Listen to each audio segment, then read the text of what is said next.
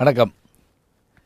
தமிழ் திரையுலகின் மறக்க முடியாத யாரும் மறைக்க முடியாத பெருமையுடைய ஒரு புகழ்பெற்ற கவிஞர் யார் என்று கேட்டால் கவியரசு கண்ணதாசன் அவர்கள்தான்.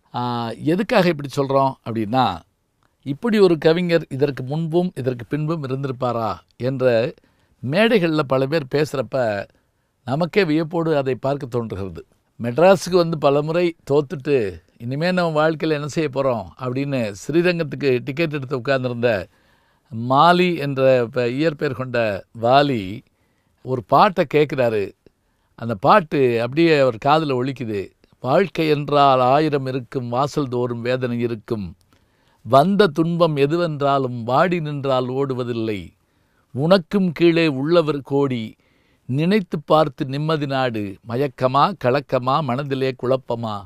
வாழ்க்கையில் நடுக்கமான அந்த பாட்டை கேட்ட உடனே அந்த டிக்கெட்டை கிழிச்செறிஞ்சு திரும்பி வந்து அஞ்சு தலைமுறைக்கு பாட்டு எழுதினார். அப்படியான பெருமையை கொண்ட கவிஞர் தான் நம்முடைய கவியரசு கண்ணதாசன் அவர்கள். சொந்த ஊர் சிறுகுடல்பட்டி அவரை காரைக்குடிங்கிறாங்க. கண்ணதாசன் காரைக்குடி அப்படிங்கிறாங்க. இல்லை சிறுகுடல்பட்டி. அதே போல் இவர் பிறந்த ஆண்டு ஆயிரத்தி தொள்ளாயிரத்தி இருபத்தி ஏழு. சாத்தப்பன் விசாலாட்சி தம்பதியினர். இவர்களுக்கு பத்து பிள்ளைகள் அதில் எட்டாவது பிள்ளை இவர்தான். எட்டாவது குழந்தை எட்டாவது வரைக்கும் தான் படித்தார் எப்படி கிருஷ்ண பரமாத்மா எட்டாவது குழந்தையோ அதுபோல் இவர் தன்னை வந்து கண்ணாசன் வச்சுக்கிறதுக்கு அது ஒரு காரணம். அடுத்ததாக ஒரு செய்தியை சொல்கிறதா இருந்தால் இவருடைய இவருக்கு இயற்பெயர் வீட்டில் வச்ச பேர் வந்து முத்தையா.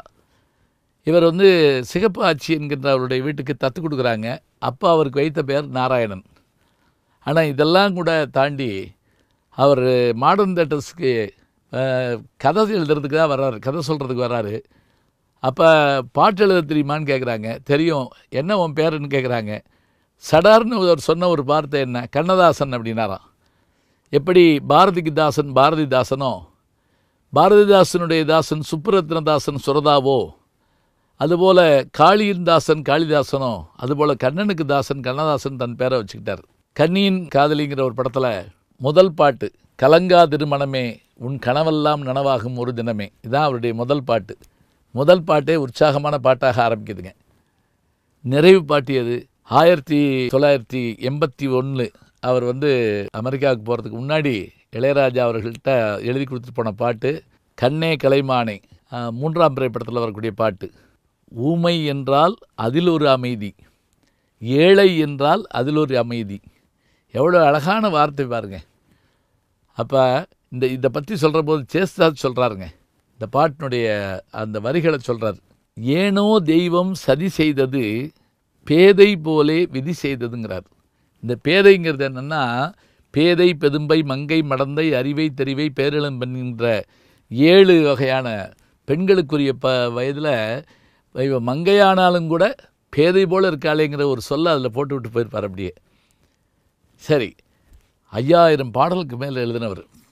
இவருடைய பா பாடல்களால் பெருமை பெற்ற படங்கள் எத்தனையோ எத்தனையோ. ப- ப- புகழ்பெற்ற திரையுலகினுடைய நாயகர்களுடைய வெற்றிக்கெல்லாம் இவருடைய பாடல்கள் காரணம். சரி இவர் வெறும் பாட்டு பத்திரம் எழுதினாரா? கதைவசனம் எழுதி புகழ்பெற்ற படங்கள் எத்தனை? நாடோடி மன்னன் இவரும் ரவீந்திரன் தான் வசனம் எழுதினாங்க. மதுரை வீரன் இவருடைய வசனம் தான். சிவகங்கை சீமை இன்றைக்கும் போட்டு பாருங்க. மாலையிட்ட மங்கை மகாதேவி அதிலும் வீரப்பா பேசுகிற பேச்சு இருக்கே. அடையப்பா அந்த பேச்சுக்கு இணையாக யார் சொல்ல முடியும்? அவ்வளவு அழகாக எழுதியிருப்பார். அத்தான் அப்படின்னு அவங்க அந்த இவங்க கூப்பிட்ட உடனே இந்த சத்தான வார்த்தையில் செத்தான் அடி இந்த கருணாகரன் அப்படிம்பார். இன்னொரு இடத்துல சொல்வார் நினைத்துக்கொள் இளவரசன் சாவான் உன் மீது பழிவிழும் உன் ம மணவாளன் தூக்கிலப்பட தூக்கிலிடப்படுவான். நீ தனியாவாய் எனக்கு கனியாவாய் அப்படின்னு எழுதியிருப்பார்.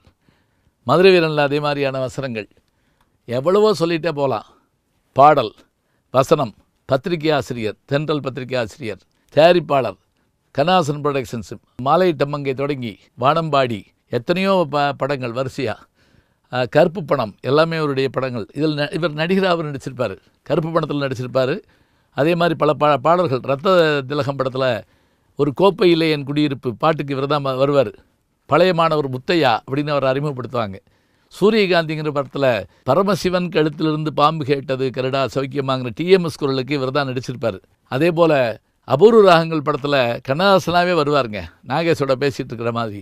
நடிகராக தயாரிப்பாளராக பாடலாசிரியராக வசனகர்த்தாவாக. ஏன்? இவர் இல்லாத கட்சி இல்லைன்னு சொல்லலாம். எல்லா கட்சியிலையும் இருந்தார். அப்படி அரசியல்வாதியாக தன் அனுபவங்களால் வாழ்ந்த மனிதர் இவர் தாங்க அதனால தான் திரும்ப இவர் கிடைக்குமான்னு சொல்ல முடியாது. பல நேரங்களில் தெருவோரத்தில் நின்றுருக்கார். அதுவும் மனிதன் என்பவன் தெய்வமாகலாம் வாரி வாரி வழங்கும் போது வள்ளலாகலாம் பாட்டு கடற்கரையில் எடுக்கிறப்ப நிறைய கார்கள் அப்படி கிராஸ் பண்ணுற மாதிரி இருந்தால் நல்லா இருக்குமே அப்படின்னு கேட்டாராம். யார்? ஸ்ரீதர். சரி நம்ம காரை வர சொல்லுங்க. பதினாலு கார் இருந்திருக்குங்க அப்போ கனகாசன்ட்ட அந்த கார் வந்துக்கிட்டே இருக்கும். நீங்கள் இந்த படத்தில் பார்த்த பாட்டில் பார்த்தீங்கன்னா தெரியும்.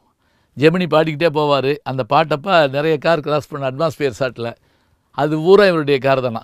அது ஏன் தெரியுங்களா? அதே மணலில் தான் சாப்பாட்டுக்கு வழி இல்லாமல் நாளைக்கு என்ன செய்யறதுன்னு தெரியாமல் படுத்திருந்தது அதுதான். எனக்கு ஒரு மகிழ்ச்சி என்ன தெரியுங்களா? நான் வந்து ஆயுதம் செய்வோம்னு ஒரு படத்தில் நடிக்க போகிறப்ப சுந்தர் சி படம். அப்போ அதில் நீதிபதியாக உட்கார சொன்னாங்க ஏவிஎம்மில் ஷூட்டிங். நான் அந்த போய் உட்காந்து நீதிபதியாக உட்காந்தேன் அங்கேருந்து ஒரு லைட் மேன் அவர் வந்து அவருக்கு வயசு ஒரு தொண்ணூறு வயசு இருக்கும் பெரிய வயசான அவர். அவர் அவர் என்கிட்ட வந்து ஐயா உங்கள் பேச்செல்லாம் கேட்டிருக்கேன். இப்போ நீங்கள் உட்கார்ற இடம் இருக்குல்ல இது எந்த இடம் தெரியுங்களா? இங்கே தான் பராசக்தி கோர்ட் சீன் எடுத்த இடம். அது மட்டும் இல்லை இப்போ நீங்கள் நீதிபதியாக உட்கார்றீங்களே இந்த இடத்துல யார் உட்காந்துருந்தா தெரியுங்களா? அந்த இடத்துல கவியரசு கண்ணாசன் உட்காந்துருந்தார் எதில் தெரியுமா? பராசக்தி படத்தில்.